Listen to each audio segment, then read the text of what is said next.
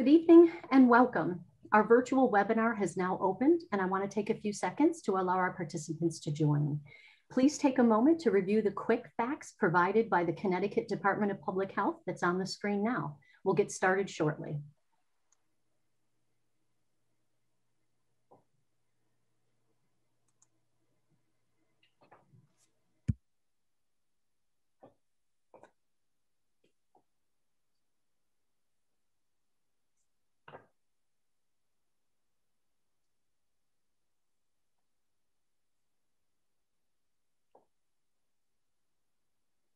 Welcome to Quinnipiac University's COVID-19 Vaccine Community Conversation, Empowering Communities, Informing Decisions. My name is Janelle Tresera, Dean of the School of Health Sciences at Quinnipiac University, and I'll be serving as the moderator for this conversation tonight. The last time we met, which was January 7th, we had two vaccines authorized by the Food and Drug Administration for emergency use, and our country was on its way to taking an important step to getting people vaccinated. So where are we today? If this were a marathon, which it often feels like, I think we would be somewhere about at the mile 20 mark, meaning that we have really been through a lot. We have endured a lot. We are getting close, but at mile marker 20, we're building leg cramps that could make this last push, which isn't all that short, really painful. As of today, we are approaching 28 million reported COVID cases in the United States. With regard to the vaccines, 82 million doses of the vaccines have been delivered across the country and 65 million doses have been administered. Yet, the US is approaching a staggering milestone 500,000 deaths reported due to COVID, more than any other country, representing more Americans who have lost their lives from COVID than those who lost their lives due to World War I, World War II, and the Vietnam Wars combined. As sad as that milestone is, it comes at a hopeful moment. New virus cases are down sharply. Emergency use approval of an additional one dose vaccine from Johnson & Johnson is just around the corner. Hospitalizations are down and daily trends in COVID deaths, which are a lagging indicator, have turned downward. But what hasn't been dialed back? The need for everyone to do the simple things to protect one another. Continue to wear a mask, wash your hands regularly, stay socially distant, avoid traveling crowds, and get the vaccine when you can. With the emergence of more contagious variants that are already um, in the United States and spreading, there is much more importance now more than ever to follow those simple guidelines to protect one another. It is really important for us to take these simple steps seriously so that we can prevent the potential for a variant driven storm. While it's only been a short period of time since our last community conversation on COVID-19 vaccines, enough has certainly changed. And again, we are here today to help answer questions that you have. I am so honored to have our esteemed panelists with us again today, providing expertise in medicine, law, biomedical sciences, business, and nursing. We are really honored and happy to have a special guest with us today, um, Dr. Ghumman, a member of the allocation subcommittee of the Governor's Vaccine Advisory Group, who will be able to help provide the most up-to-date information regarding plans for vaccine distribution in the state of Connecticut. As I said before in some of our other conversations, if you have a question about COVID-19 or its vaccines, you have come to the right place. I am certain we have the experts here to answer those questions. This is the third community conversation in a series of webinars that we will be hosting as we work through this pandemic. The purpose is very simple. It's just to be here to pro provide answers, answers to your questions and to provide you with sound scientific advice and data-driven recommendations. If you missed our previous conversations, please do visit the link provided um, in, the, in the chat and the Q&A below so you can learn what we shared in those conversations. We have added a table of contents to those videos so you don't have to listen to the entire conversation. You can use the table of con contents to get you right to your exact question. So panelists, um, please take a moment to briefly introduce yourself. Mary, can we start with you? Hi, I'm Mary Peterson. I'm a clinical assistant professor in the School of Nursing. Oh. Thank you, Mary. John? about that. John? John Thomas, professor of law at the School of Law at Quinnipiac. I also have public health training and taught for 10 years in the public health school. Great. Thank you, John. Dr. Ghumman?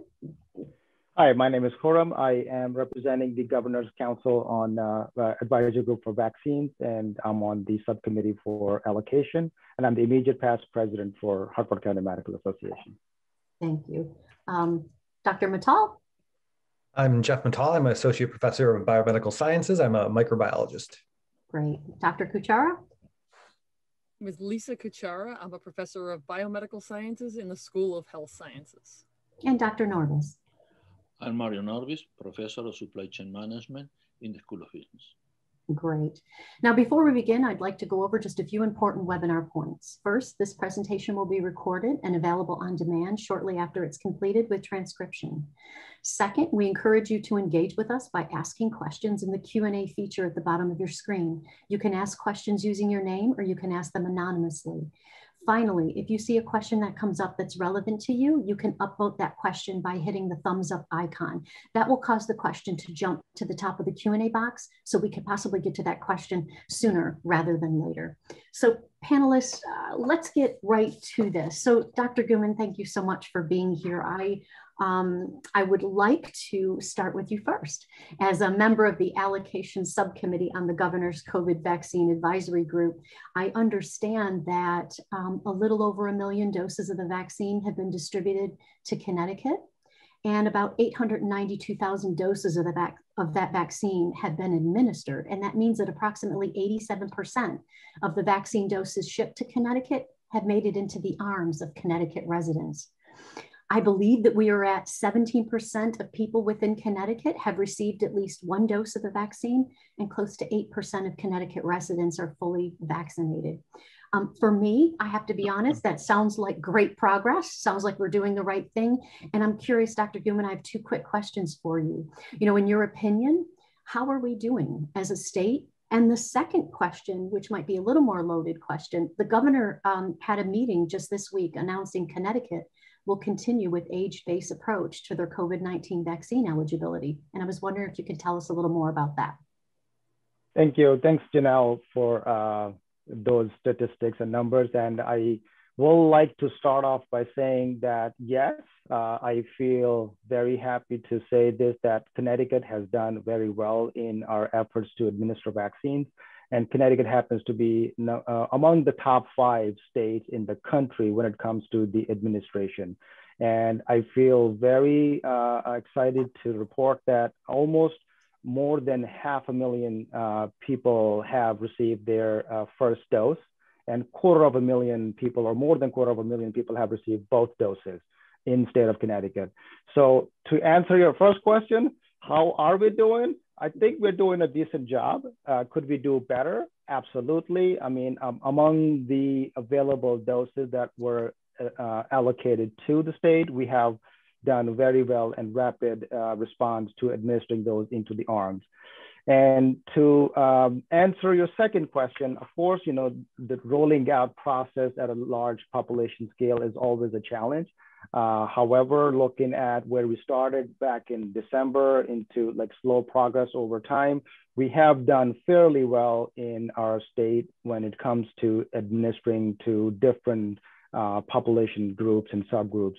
So uh, Department of Public Health and Governor's uh, uh, Advisory Group has done a great job in making sure that we are making progress while keeping uh, in mind those certain groups who are frontline workers and healthcare workers, and now we are uh, changing course into some of the other populations. Uh, as of Monday, uh, this past Monday, the governor did release uh, some other age-based, criteria-based subgroups that will be um, eligible to start scheduling their vaccines. And as of March 1st, the age group over 55 to 64 group will be eligible to start scheduling their vaccines. As of March 22nd, the group will go down to 45 to 54 age groups, and they will be eligible to start scheduling their vaccines at several statewide locations. And starting April, April 12th, uh, this will expand to ages 35 to 44. And of course, a lot of our healthy young people who may be listening into this conversation from our campuses will be looking at, but I don't fit in any of those groups. So the last group uh, will be 16 to 34, and that will be coming May 3rd. So the hope or the goal for the state is to make the vaccines available to anybody who's interested by uh, uh, early, you know, summer, and hopefully we will expand the administration process as things evolve with some of the other vaccines. Great. Thank you so much for that update. You know, there are several people that I know are trying to get the vaccine. I too am trying to get that for my parents. And due to a variety of issues, whether it be shipping or weather or administration issues, people are experiencing, some people are experiencing some, some dif difficulty in getting frustrated with the process. I know the number one complaint I think last week was people are ending up at websites and trying to get the vaccine and every website they go to it says they're overbooked or the vaccine is unavailable. So i'm curious dr Ghumman you know what do we have that same issue here in connecticut? And i think the more important question is what is connecticut putting in place to be able to help with the difficulties that some people are having in getting the vaccine? So uh, thank you for this question. It's uh, it is, as you can imagine, when any uh, policy or any process that is on a, a population scale, uh, the challenges will be there. Uh, um, there are some challenges that you can mitigate and minimize early on, but some things that you learn along the way. So yes, there are, uh, we have heard some, you know, people who are trying to connect with their um, scheduling appointments and there were some glitches and challenges, but we, you know, the state DPH and uh, Commissioner Gifford's team has done a great job in making sure that anybody who is eligible is able to connect via one of the several resources to schedule their appointments. Since it opened up for 65 and older age group, there have been uh, there's uh, uh ways to connect with the scheduling facilities via statewide system, via vaccine administration management VAM system, and there are some large healthcare systems within state of Connecticut who offer direct scheduling through their websites, through their portals. For example, Hartford Healthcare and for Yale New Haven system will allow go through those systems. Trinity uh, Health New England will allow through the VAM system, Griffin Hospital the same way. But we hear that you know some people don't have access to computers. Some people will not have as ready um, uh, connection or tech savvy. So there is option for them to connect via phone calls. Now, I do realize the phone system may take a bit longer than the online system, but you know if there are some challenges in one system, there is that opportunity to uh, secure an appointment through the other uh, systems in place. Great. Thank you so much for that update. Dr. Norbis, I kind of want to turn to you with your expertise and background in supply chain. You know, what, what do you see as happening and, and what do you think it will take to, to get out of this? Um, thank you, Jana. Um, I see that we are in a very dynamic environment from every point of view, but from the point of view of logistics, we are in a, a very dynamic environment. It's a process of flow of material, which are the vaccines, as well as information. Okay, and in this process, uh, there are steps that sometimes are slower than others, and we call that bottlenecks. And uh, within the dynamic of the process, this bottleneck change. Sometimes it's one, sometimes it's the other. And eventually, governments and organizations uh, come to the rescue uh, with um, resources for that bottleneck until another bottleneck appear. Okay, but um, let me let me say up front that I think we are moving in the right direction, and I will expand a little bit on that. Uh, why I think we're moving from the logistic point of view in the right direction. At the beginning, we have concerns, I remember, about the distribution. We will be able to distribute all the vaccines. And then that concern moved to the, the production of the vaccines until new players come into the game, lately Johnson & Johnson, okay? And more players will keep coming, no doubt will keep coming. And so the, the concern that the concern of the production or the transportation move to somewhere else. The bottleneck moves somewhere else. As you said, Chanel, at the very beginning, uh, about 80% of the uh, uh, vaccine that have been distributed in nationwide have been applied. And in Connecticut, the number is about 87. Uh, if we look at that some months ago, uh, that was 30%. So we are in the process in which the it seems that we have more vaccines that we can uh, that the demand, but the demand is growing, is catching up. Okay, so again, as I said, uh, we are moving in the in the right direction, and it seems at this point, from the point of view of logistics, the bottleneck seems to be. Uh, I may be wrong, but the bottleneck seems to be at the very end of the of, of the flow, meaning in the application or in the demand. Great. Like at a personal note, as my hairline reveals, I'm old enough to have gotten my vaccine. I went through the Vaccine Administration Management System, Connecticut VAMS. I advise all people looking forward to getting a vaccine to go to that site. I've given the link in the chat. I registered a little before my age group was eligible and received a notice from the Department of Public Health in Connecticut and asking me now to schedule an appointment. It was very easy. I got an appointment within a, I, no more than a week of, registering, becoming eligible. So again, the link is there for folks. Um, there's information on that website, but it works very, very efficiently. If you register there, my own personal experience is it works very, very well. Great. John, thank you. Mario, thank you. I'm going to turn this over to Dr. Kuchara and Dr. Mittal. Can we get a little bit of an update on vaccine approval and development? I understand that the FDA advisory panel will consider approving Johnson & Johnson's one-dose COVID vaccine as soon as I believe, Friday. So where we stand now, we have two vaccines authorized for emergency use, Moderna and Pfizer. We have one, Johnson & Johnson, that's seeking emergency authorization now. And I believe that there might be six others in the pipeline that are distributed across some of the three phases of clinical trials. So, so two questions here. Where are we on the Johnson & Johnson vaccine approval? And what about the others in the pipeline? So yeah, today was very timely to be able to see in the headlines that the FDA has started reviewing and is, uh, you know, looking at the efficacy and safety data and pleased with that.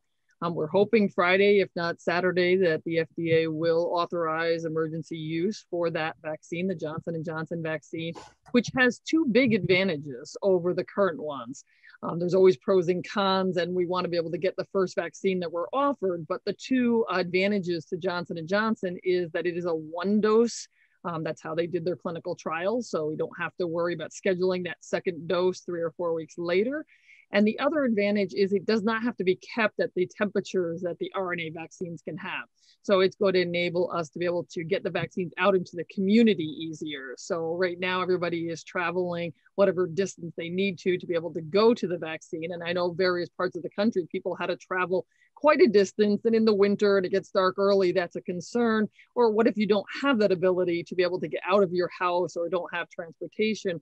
So the Johnson and Johnson not only is going to be available at the centers, but we're going to be able to really change that methodology and be able to also get that into you know the communities where we need it. For example, Yankee Buses has donated like 40 buses.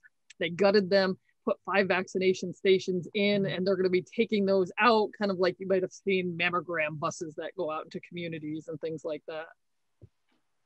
Fabulous. Uh, Dr. Kuchara, thank you. You know, I'm curious, you, you talked to us a little bit at our, at our last community conversations about the vaccines.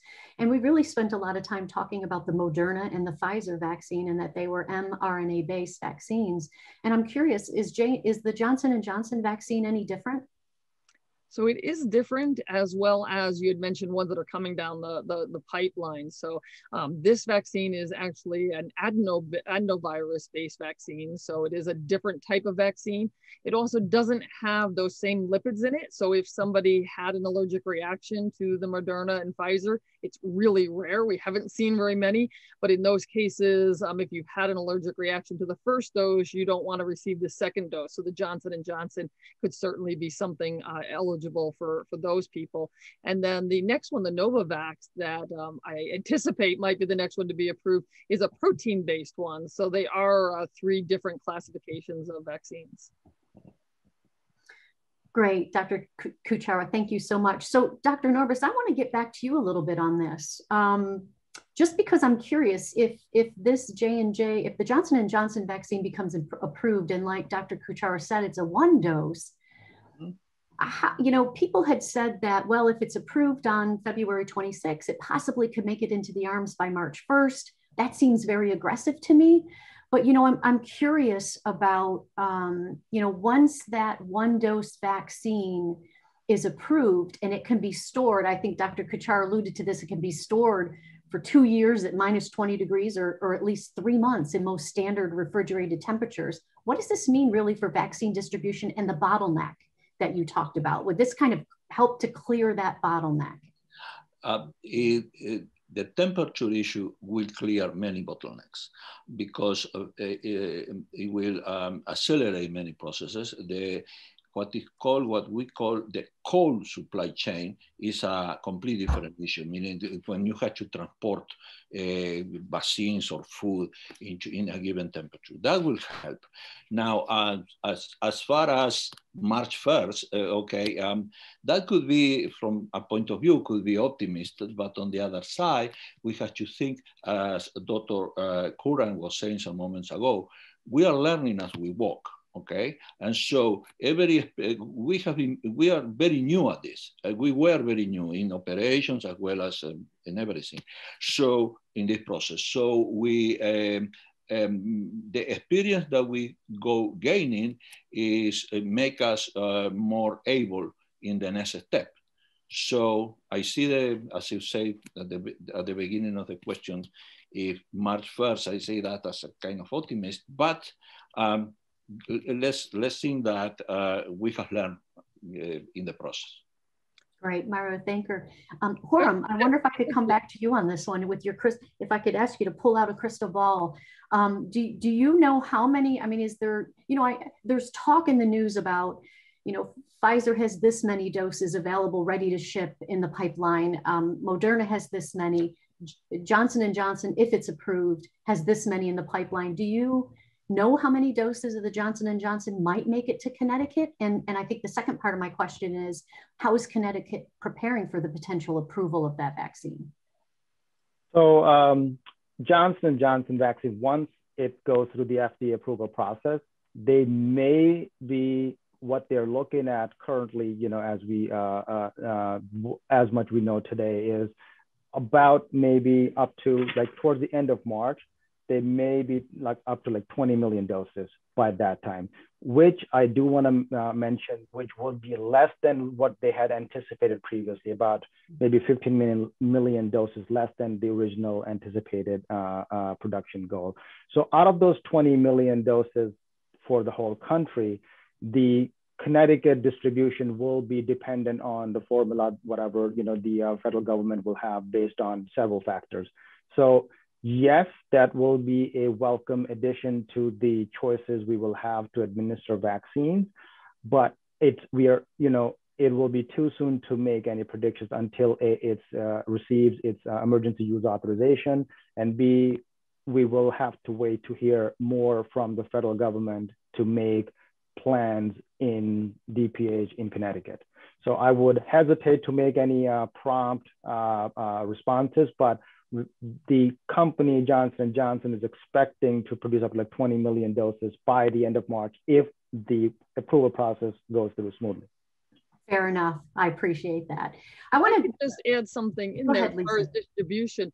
So one of the uh, groups that we're looking at, especially, is perhaps um, you know people of color and minorities. And Connecticut is about the same as the country. We're not doing necessarily a lot better or worse.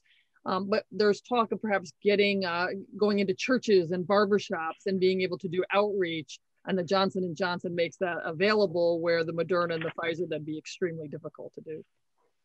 That's actually that's good news uh, on the front, I think, for Connecticut. So I want to turn this back to the variants so in our last discussion, we talked about COVID variants, specifically um, that generally speaking, viruses constantly change through a process called mutation, and that new variants of a virus are expected to occur over time. Sometimes those, those new variants emerge and disappear, and other times new variants emerge and persist. We now know that multiple variants of the virus that causes COVID have been documented in the United States and globally um, and, and the three that we mentioned in our prior conver conversation are the UK variant, the South African variant, and the variant that I believe is from Brazil. so I'm curious, are there any other variants that we need to be made aware of, or are these the three that we are in the race to keep from spreading? And I think maybe, is it Jeff I'm gonna go to, Dr. Mittal with this one? Uh, sure. Yeah. So the, the three variants that you mentioned um, are the, the primary variants that we've been hearing about and the, the primary variants that we need to be um, concerned about. There is another variant that's uh, starting to emerge um, with increased surveillance um, out of California, um, but the, the UK, the Brazilian, and the um, South African variants are the, the primary ones. So the, the, you know, the big concern with, with the variant is, is it more transmissible and is it more severe or more deadly? The with the increase in frequency that we see these variants, it seems pretty apparent that they are more transmissible. Um, we don't see much of any data that they're more that they cause more severe or more deadly disease. Okay, so so Dr. Mittal, so so that's the stuff we know about the variants. What don't we know about them yet? And I guess my second part of the question is with regard to the vaccines. Are the Pfizer, Moderna, and Johnson and Johnson vaccines protective against these variants? So yeah, so there's a there's a lot we know don't know about the variants right now. Uh, we don't know why they're more transmissible. Um, it's a you know a, a fairly safe assumption that perhaps it's because uh, it could take fewer um, viral particles to to expose a person to to to have them become infected. That would be one um, viable reason why it might be more transmissible. And that's, you know, as we'll, we'll talk about a little bit, that's maybe one of the reasons to start double masking, um, you know, why that might be effective. Um, as far as the, um, the vaccines go, you know, the, the Pfizer and the Moderna vaccine are still effective against the variants. They, it seems like, you know, with the way they're looking at it, there might be some slight decrease in effectiveness, um, but it, it's thought that they're still going to be effective, especially at um, preventing severe disease. And the Johnson and Johnson vaccine, when you look at the numbers, you know, if you look at Moderna and Pfizer, when they first came out, it was 95% effective, and now Johnson and Johnson comes out and it's 72% effective. Th- that is a difference, but you have to remember that the Johnson and Johnson clinical trial was happening when these variants were more you know out there more. So it's not surprising that those numbers are a little bit lower. What's really um, what's really good about the johnson johnson vaccine is that because we know these south south african variants are out there they actually tar- targeted south africa for their clinical trials. And they have a lot of data out of south africa. Um, and it shows that even in south africa where this variant um, is very prevalent you know we're seeing um, you know it, it still be 82% effective against severe um, severe COVID infection and, you know, still uh, very effective um, against, uh, you know, uh, catching the disease at all. Janelle, so, may Dr. I add just, I'm sorry, go ahead. Please do, please do. So I was just going to mention, and I, you know, the, thank you for all the, uh, you know, the information on these different variants, but I did want to mm, uh, just put like something in perspective. January 10th, 2020, when we first, we had the first genomic sequence of the SARS-CoV-2 virus. February 3rd, 2021, we have more than 460,000 different uh, sequences. And I would like to give credit to CDC on uh, something that they are putting together in place. So they're collecting from all state labs up to like 750 different specimens will be, you know, uh, uh, uh shipped, you know, transferred over to the CDC database.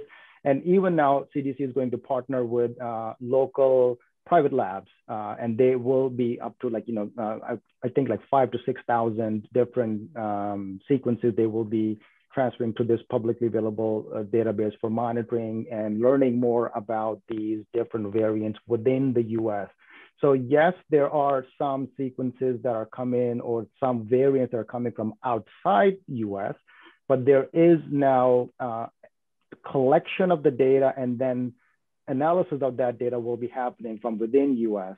So CDC has put together a plan in place, which again, you know, it will take some time to gather that massive amount of data and then interpretation and analyzing, but I think they are taking steps in the right direction. Perfect. I'm glad. I'm glad you added that. Thank you very much. I want to get back. add something to that real quick. Please do. So Moderna has actually also started a new clinical trial. So they just uh, have sequenced a new um, RNA vaccine. So they're going to be giving people a third booster of the existing one and comparing that against the new one that they have now manufactured. So the RNA virus uh, vaccines are really quick to be able to turn around for these, and they're going to be studying that and determining will that you know new um, vaccine variation now be more effective or would a third booster? So they're comparing that. And then the other part of it is the quicker we can vaccinate everybody, which obviously also depends on supply, so not all it's within our control, but with regard to people being hesitant, the quicker we vaccinate everybody, the less chance for some of these variants to become so prevalent. So it's not in an average person that these variants are usually occurring. Um, there's been a person in Boston who was immunocompromised and infected with the virus for many, many months. So most of us, right, we get sick and then we clear it. Um, this person actually, because they were immunocompromised, carried the virus in them for months, and they actually saw these mutations, these variants come about. So if we vaccinate everybody quicker, we'll decrease the frequency of those variants being able to spread as prevalently as they do. Great, thank you for that. I do want to piggyback off of something that Dr. Mittal said that leads into the booster question, Lisa, that, that you had just mentioned too. I think there was some discussion, Dr. Mittal, about this slight decrease in effectiveness against variants. And, and I guess my question to that was, I was curious about a booster.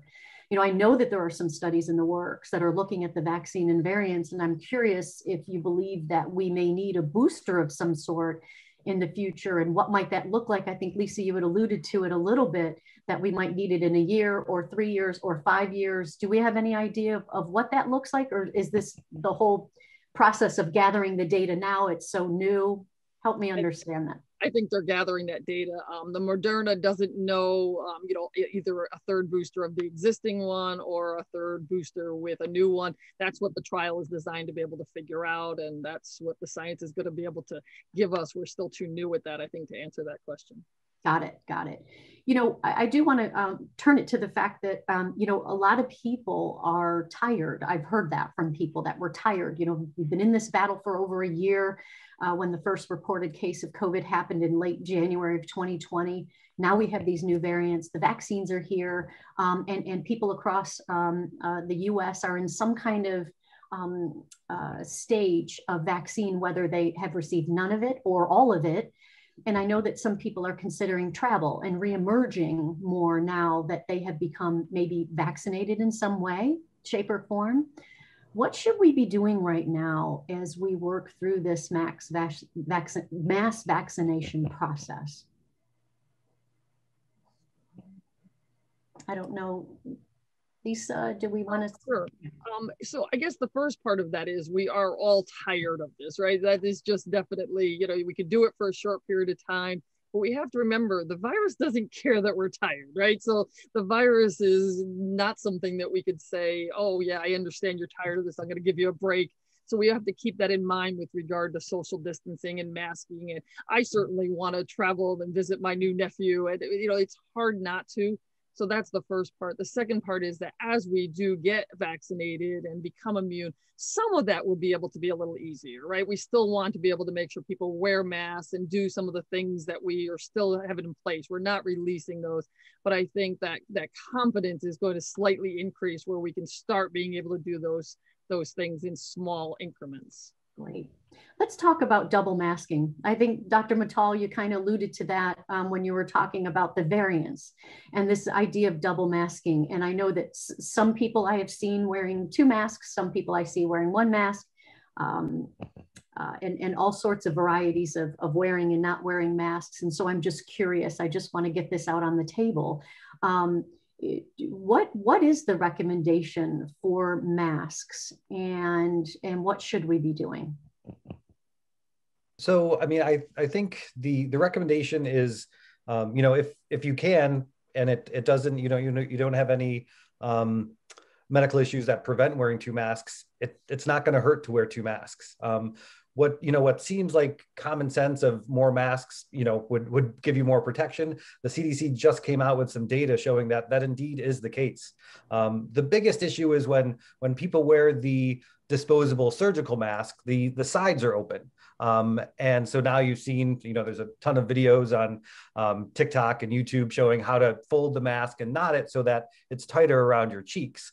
Um, and the CDC actually looked at that type of um, modification to the masks and also putting a um, a uh, cloth mask over the surgical mask. And both of those are thought to just bring it closer to the cheeks and close that area that's that's open to um, virus getting out or getting in. And it showed to be um, they, they, showed the the data was pretty impressive that it was significantly more effective at preventing um, transmission of droplets. Um, and one of the interesting things is you know we've heard that you know wearing a mask, it, it, typically is more effective at protecting others from you transmitting it to them.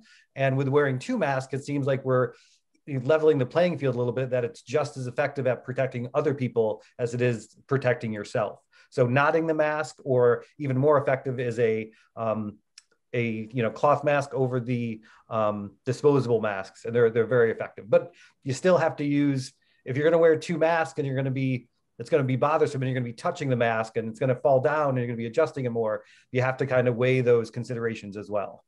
Got it. So fit matters. And, and Dr. Mittal, what I'm hearing is two masks fit appropriately, work better than one. One certainly is better than none. And so the recommendation is let's it let's at the very least wear a mask to help protect those around us.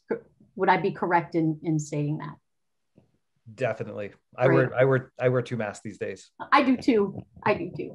Okay. Um, I'm gonna I'm gonna move this to children and pregnancy. And Mary, thank you for being here. We know that pregnant women um, are at a risk of, of severe disease from COVID-19. What are the recommendations for pregnant women in regards to the vaccine?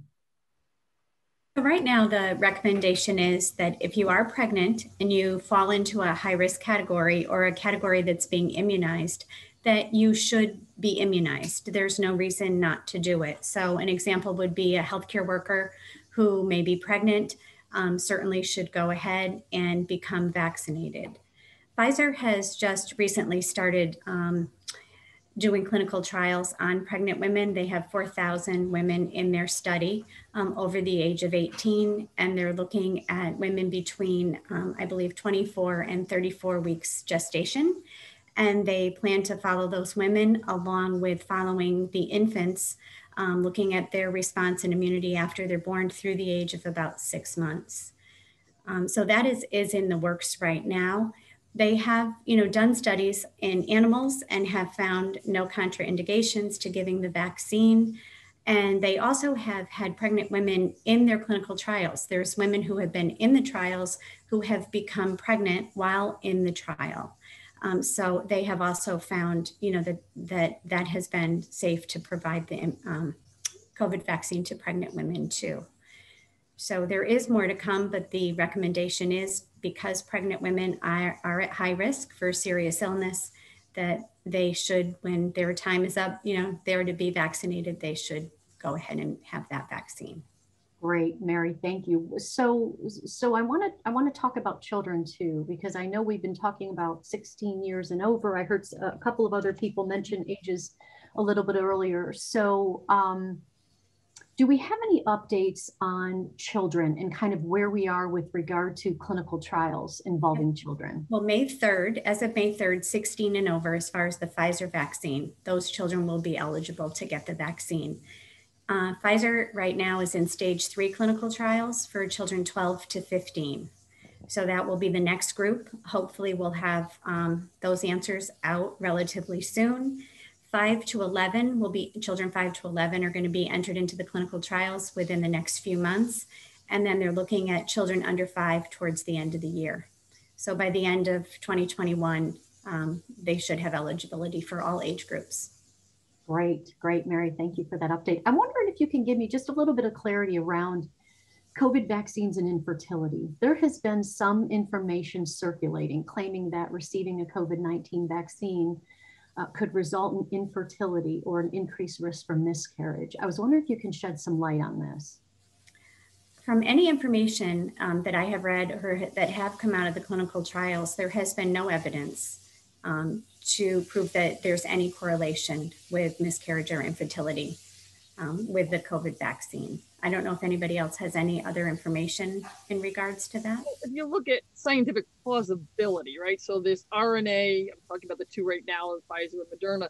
The RNA goes inside of our cells. It's there for a very short period of time. Uh, we have RNases, basically enzymes that chew up the RNA very quickly. It makes its protein.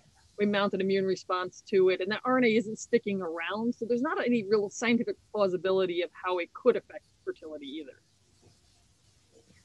Great, thank you. J John, I want to go over to you quickly about this idea of um, requirements for, for vaccines. I do want to say masks I know are required on planes, buses, trains, and other forms of public transportation.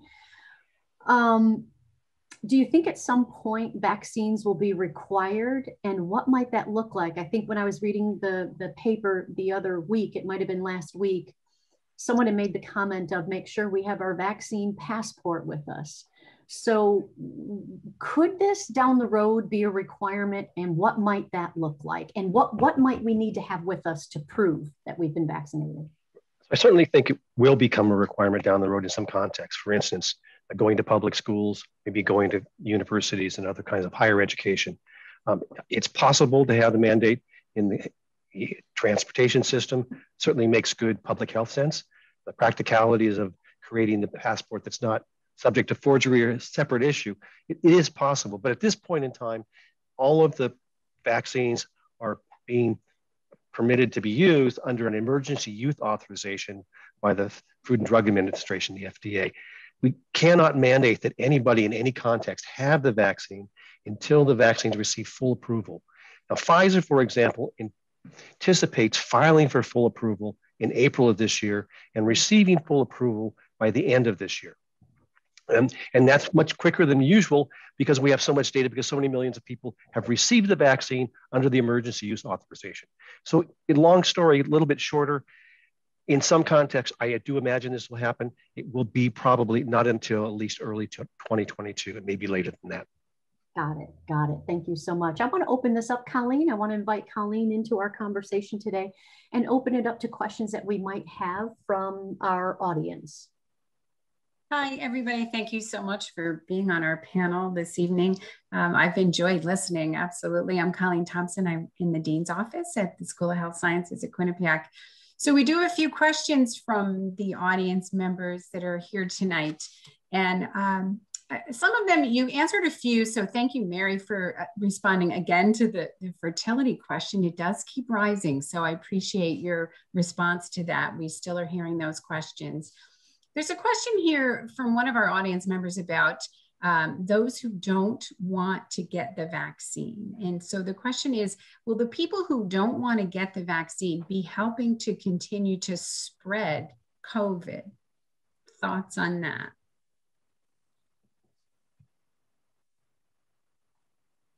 Absolutely. I can talk from a personal perspective. Um, I contracted COVID twice this past year, uh, first in March and then later on in December. Both times got sufficiently sick that my physician wife called 911 to take it for an ambulance to take me to the emergency room. Now I had complicating factors. I also was uh, diagnosed with cancer early last year. I have had treatment now. Um, but um, uh, yes, the vaccine is effective. We think it's more effective than actually having the illness. And though I just got over the illness for the second time, I waited my appropriate uh, quarantine time in order to take my vaccine. I got the vaccine. I think it, we know that the vaccine is effective in so many people. I think we have a public duty to our neighbors, to our family, to anybody else to do what we can. So, um, yeah, get the vaccine, please. And if you don't, you are contributing to a public health emergency. So I'll echo what John just said, and I'll just say, you know, uh, I trust our scientific community. I believe in scientific achievement. So it's incremental progress, but it's a step in the right direction. Now, are there concerns, long-term safety and all those? I absolutely understand people's concern. We don't know how it might impact five years from now, but we didn't know only 18 months ago that this will be a conversation we, we would be having via Zoom today, right? So things change over time and we have to be open to the emerging scientific evidence and act upon it at, at that time with the best tools that are available to us. So if you ask me today, if I have a patient in my clinical office who's asking me this question, should I get vaccine or not? My answer will be, if you have one offered to you, take it. So yeah, it's that simple. We know unless there is any contraindication due to clinical medical reasons, absolutely. But if there is no medical contraindication, if it's offered to you, please take it. And if I can piggyback on that, so it's natural to have questions. It's normal to be hesitant. But as he just said, the people you want to seek out your answers from are scientists. You want to speak that out from your primary care person, your physician, get the answers from the right sources. So it's okay right. to, you know, to wonder or, you know, be worried about something you might have heard, but just seek out good resources for those answers. Right. Yeah, yeah I agree with that, Lisa. Thank you. Jeff, what were you going to add to that? Oh, yeah, just it's, it, you know, getting vaccinated, it's one of those situations where you could do something that's going to help yourself, but also help others. You know, every person that gets vaccinated helps protect those who, for whatever reason, cannot get vaccinated. There are a number of individuals who might not be able to mount an immune response. So by getting vaccinated, you are protecting those you know who are most vulnerable in our population. Think about the timeline of when our kids are going to be able to be vaccinated. That you know might be a, a little ways off. So everybody getting vaccinated protects those who can't or have not been vaccinated. And, and posting it on social media. I've seen a lot of people post their you know them with their you know, getting vaccinated, they're with their card. It helps to make all of us have more faith and more confidence as we start to see more and more people get vaccinated. It actually helps. So if you're somebody that does social media and is willing to be able to post that out there, it's surprising the impact that that can have and make that part of community immunity go viral rather than the virus itself. Right. That's really good advice. Yeah, thank you for that. So thinking about the people that are vaccinated. So so I get my vaccine, right? And I haven't had mine yet. I'm hoping one day. Um, so if I get my vaccine, should I continue to double mask? Short answer is yes.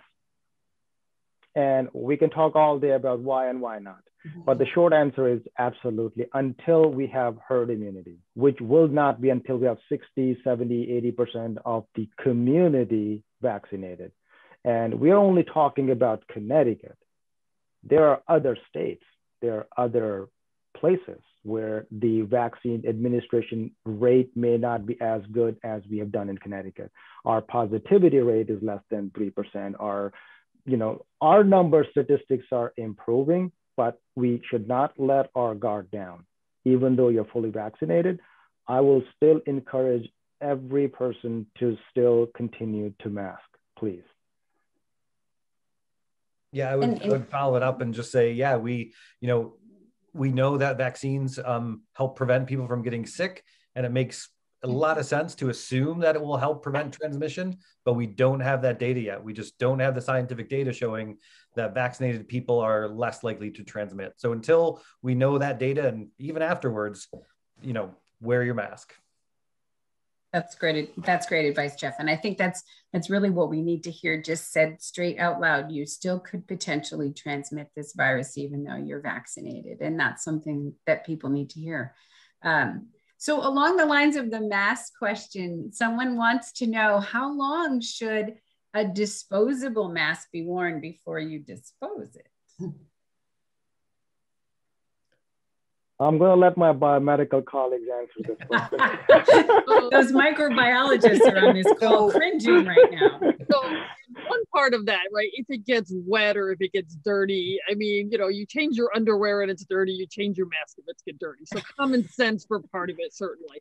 Um, but a lot of the masks will say kind of like an eight hour period and you know if you're if you're wearing it so um, for me with a cloth mask i wear it that end of the day it goes right into the laundry machine um, so it's basically something, but if you were going to wear it just because an hour, you could put it in a paper bag. Let's say you have a doctor's appointment, you know, twice a week for, you know, a, a reoccurring uh, condition that you have. you and you knew you're going to wear it about an hour, you could wear it a couple of times. Put it in a paper bag. You want to make sure you're taking it off safely. You don't want to put it in a plastic bag because plastic could generate some moisture and bacteria. Um, but generally, you don't want to be wearing this for. I see some people hanging it on their rear view, you know, mirror, and they're basically using it for like a month. Well, again, you wouldn't do that with your underwear. You know, use some common sense when it comes to changing the mask. I want to add a practical comment. Use it until you have a substitute, until you have another one. I mean, I think a, a used mask is better than no mask. So please stock up. But if you don't have another one, wear it again, please.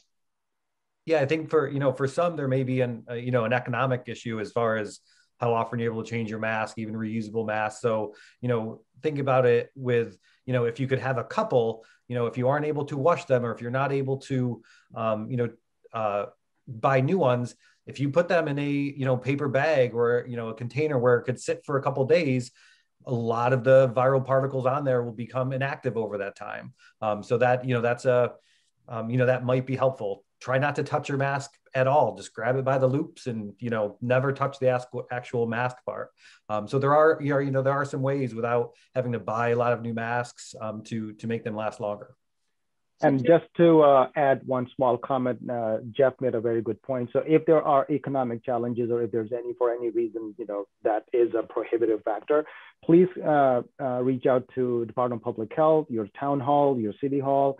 They will be able to help facilitate securing enough masks for the family, for the people. So I think Jeff uh, mentioned a, a, very important point that we should always, you know, we should think about there may be other factors.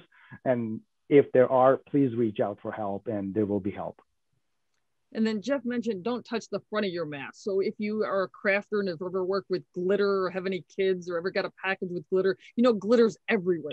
Just think of the front of your mask as contaminated with glitter and you don't want to touch the glitter because it's going to go all over the place.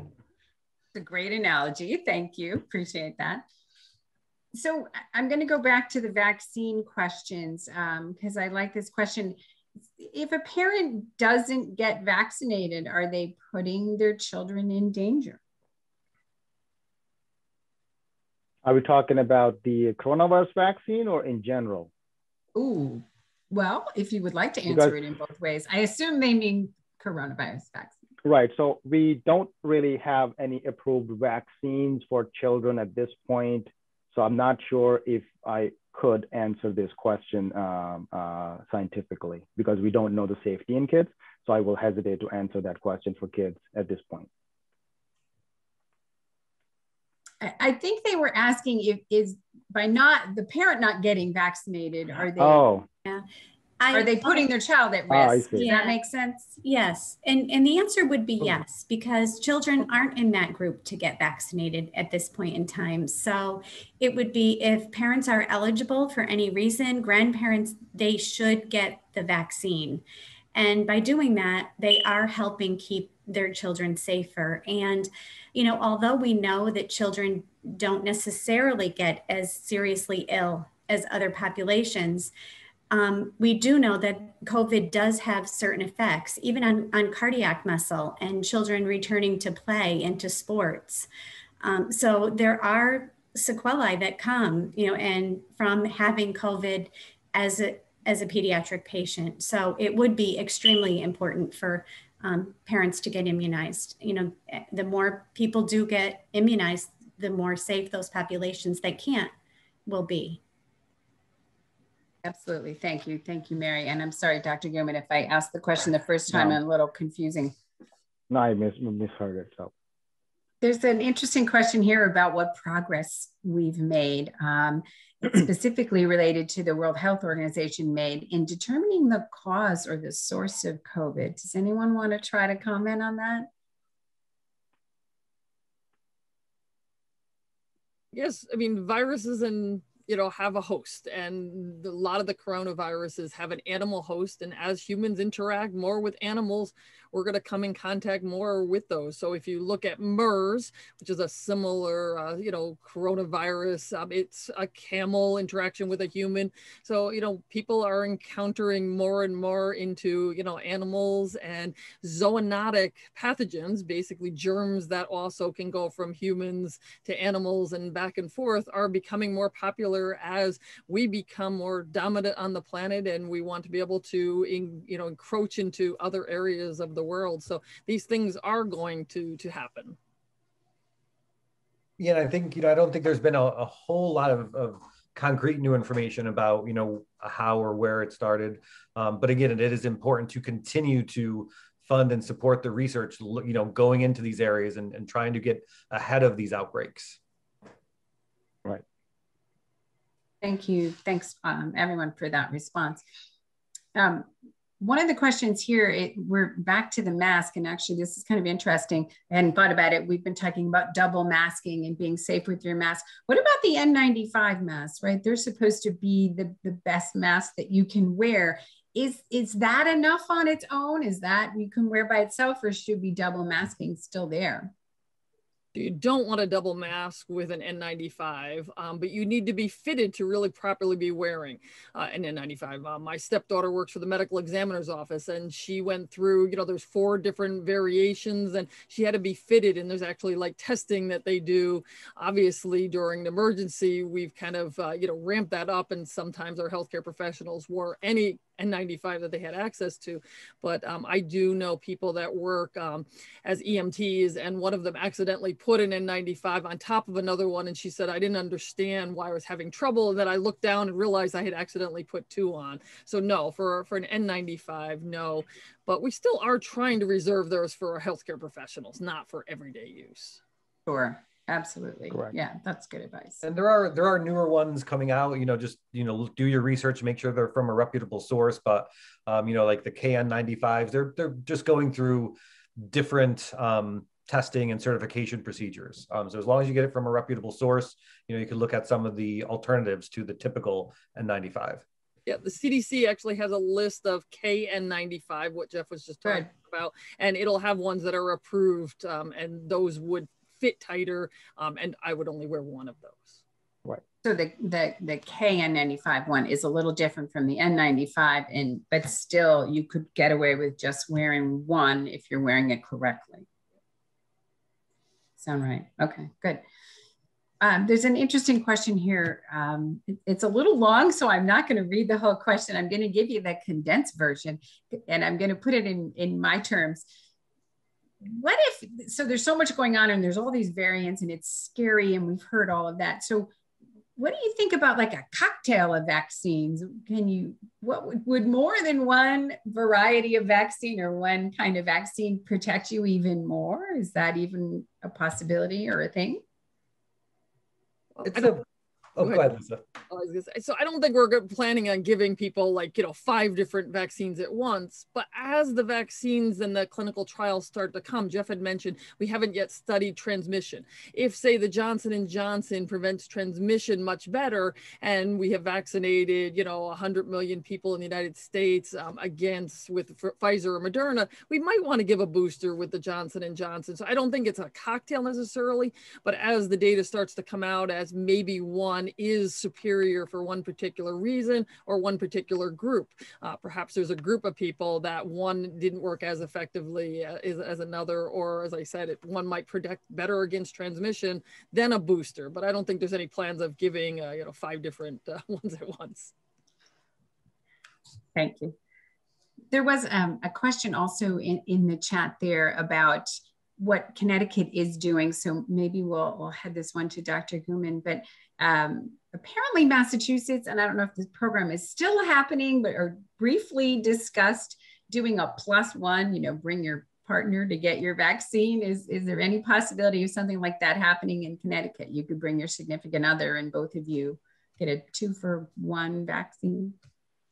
So if there was, my wife would have been vaccinated. She's still waiting for her turn.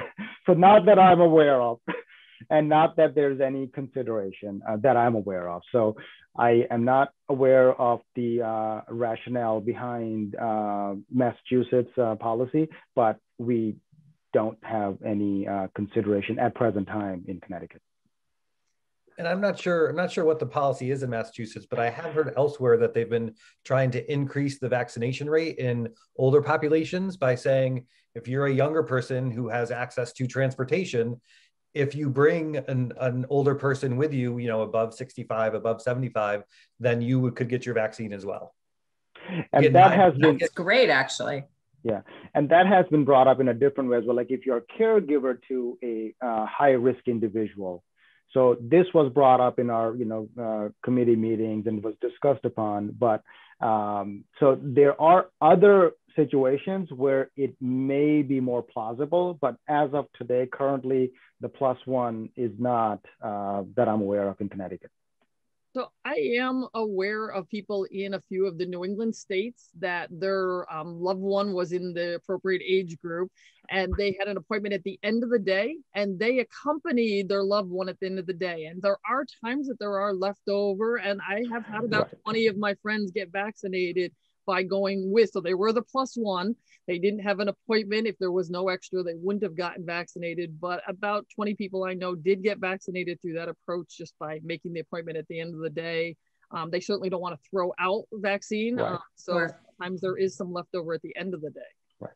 So the goal in Connecticut is to vaccinate every single dose possible. So like Lisa mentioned, if it's like, you know, 455 and you close at five and there's like two doses left and two arms available and willing to take, I think the uh, rationale is to utilize those doses uh, rather than discarding. So that would be true. So I I hate to to stop great conversation. I do want to say we are at 7:30. I just want to leave Dr. Ghumman uh, just a few seconds of just advice you have for Connecticut citizens while awaiting for the for the vaccine.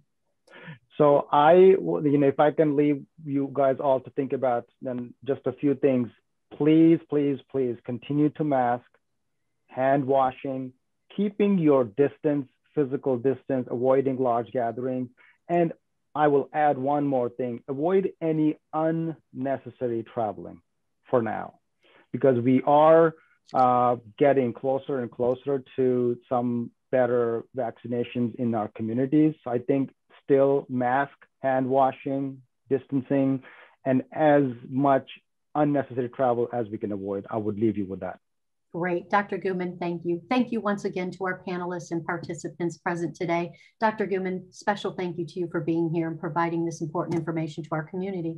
I want to share with you some resources, a slide that we share with you. If you put your phone, uh, your camera on the QR code up there, uh, um, we have developed a nice FAQ document for you regarding COVID and its vaccines. Please do place your phone over that. We also have some other uh, resources for you. Um, Thank you so much for joining us. Please do join us in the future as we continue our focus COVID-19 vaccine community conversations on behalf of Quinnipiac University and the School of Health Sciences. We wish you health and wellness. Be safe, be well, wear your masks, and go Bobcats.